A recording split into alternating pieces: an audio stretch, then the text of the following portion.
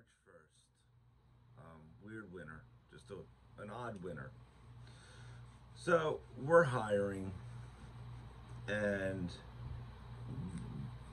I guess this story goes as far as um,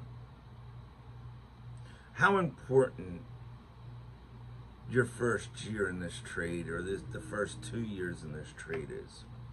So we were hiring for someone that has just two years experience. And this is a weird time as far as the applicants you get. Two years, you get applicants that run the board, okay?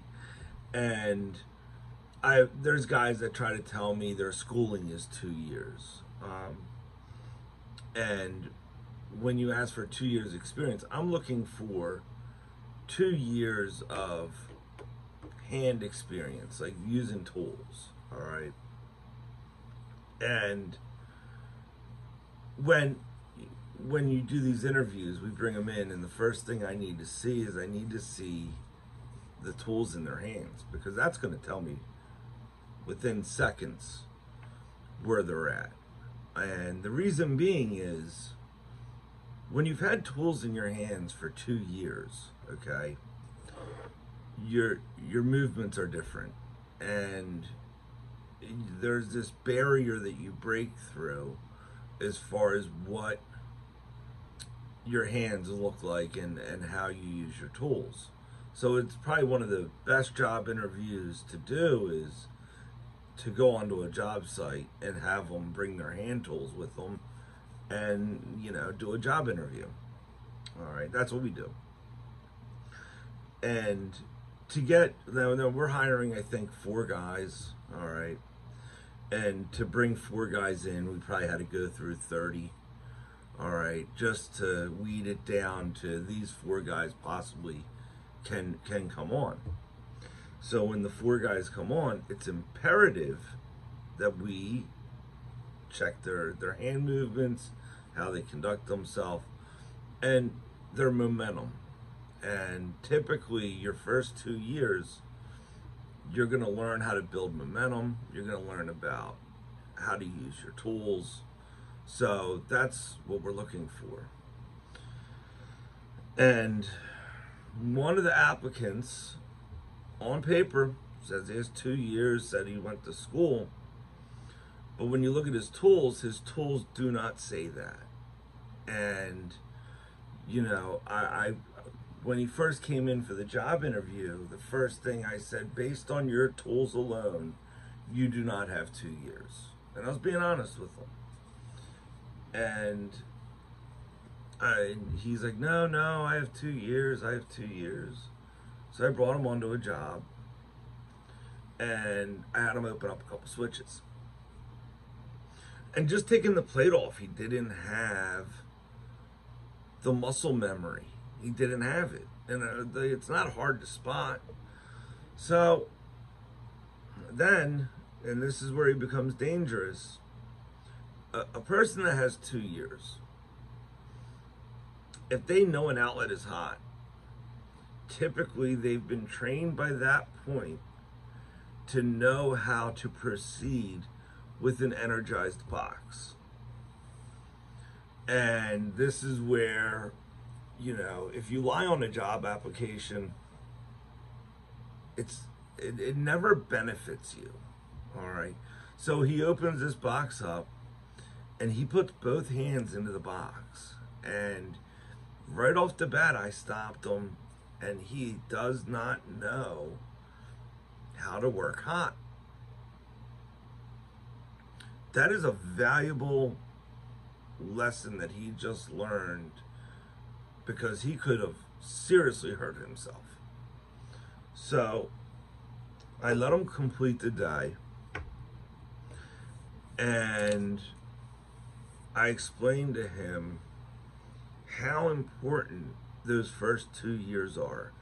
And do not waste them going for more money and he, he the first thing he said he goes well i have bills i told him to get rid of the bills the your education in the beginning, this first two years, is far more important than whatever bills you have.